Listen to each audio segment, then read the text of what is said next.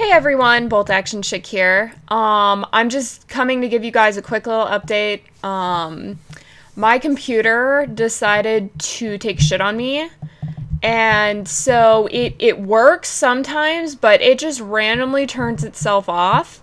And I really am just done putting up with it. Like, it's inadequate. I can't record anything while doing it because it just randomly decides that it's going to shut off.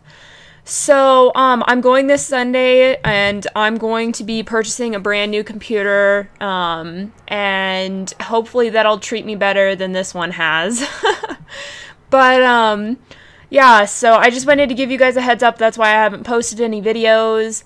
Um, as soon as I get my new one, hopefully Sunday night, we can, um, I can get a group of friends together and we'll do a wacky, weird, retarded online video for you guys and hopefully make you guys laugh and whatnot. So I just wanted to give you guys an update and I'm sorry for the inconvenience. Um, I will see you guys all Sunday. Bye, guys.